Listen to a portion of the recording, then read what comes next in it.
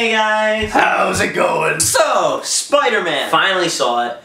I liked it a lot, but let's get into the review. Tobey Maguire Spider-Man's, uh, you all know, I'm a big fan of. Andrew Garfield, not so much. Tom Holland, yeah, I, I can dig a little Holland, if you know what I mean. Let's just say right off the bat, I really like the film. I do think that it relies a lot on the two other origin Spider-Man movies with one with Tobey Maguire, one with Andrew Garfield, because those those movies really explain the backstory, whereas this movie kind of just jumps into it and assumes that you know Uncle Ben died, that Peter got bit by a spider. If you didn't know those things, it might be a little confusing, but still, you, will get it after like a half an hour of watching. You'll understand what's going on. And this Spider-Man's a little different. This Spider-Man's like 15 years old, and the, all the other Spider-Mans that we've seen have been like kind of older. Andrew Garfield was like in his 20s, supposed to be a high school kid, you know. And Tobey Maguire was, was only in high school in the first Spider-Man. This is an interesting take to see a sophomore Spider-Man. And you know what? He's not perfect. He makes a lot of mistakes throughout the film. He's still learning. And that's something that we never really got to see with Spider-Man. Spider-Man,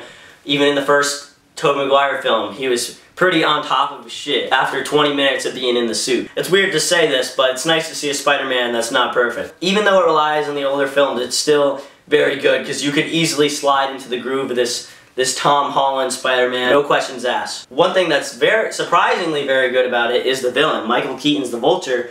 It, you kind of can feel for him. It's not it's not like some other superhero movies where they're just evil to be evil. I'm Dr. Evil and my power is to be evil. It's not like that. It's not like you just put on the Vulture costume and went, I'm the Vulture! Die, Spider-Man! It's gradual and you could actually side with him at some points throughout the movie. Not as good as anything like the Heath Ledger's Joker, but still, you know, a memorable villain nonetheless. And this movie is also very, very funny. That's something you can expect from Marvel movies. Maybe not from DC, but there's moments where I was bursting out laughing and the entire theater was completely quiet for like these hilarious, hilarious moments. And I think it's just because there's a lot of old people in the crowd that doesn't understand all these jokes that they threw in there. I say penis, you say Parker, penis, Parker, penis, Parker. And overall, I give Spider-Man Homecoming an 8 out of 10. I'm still holding on holding on to these Tobey Maguire films because they're so they're so close to me.